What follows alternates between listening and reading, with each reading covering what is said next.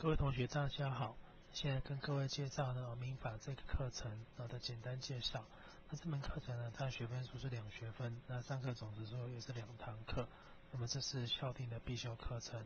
那我们的教学目标呢，是希望同学在修完本课程之后，那对于我国民法规范呢有重基本的重点认识，并且能够呢熟悉民法典的查阅及应用。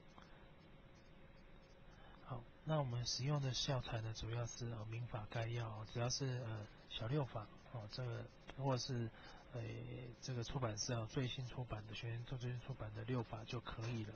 好，那呃我们上课方式是用课堂讲授的方式，那成绩评量方式呢，其中期末考各占百分之二十五，那么两段平时成绩呢各占百分之二十五，那这平时成绩呢就包含了出席。上课参与、作业缴交以及呢呃分组讨论与报告。那特别要提醒同学，就是作业缴交呢，包含就是在 Apple for 跟网络大学这两个部分。好，那上课参与成上课的参与呢，也包含就是上课的时候这个同我们的呃抽问或者是上课态度。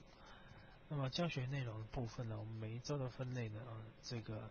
呃，原则上呢，在期中考之前呢，我们要跟各位介绍总则编跟摘编。那期中考之后，我们就介绍物权签署跟继承。好，那原则上呢，我因为这内容呢相当的多，所以我们只是做一个简单的介绍。